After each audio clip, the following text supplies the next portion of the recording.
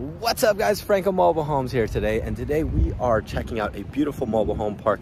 This is where we show you the ins and outs and everything there is to know about mobile homes. It is truly our mission to transform lives through mobile homes. So thanks for watching Franco Mobile Homes.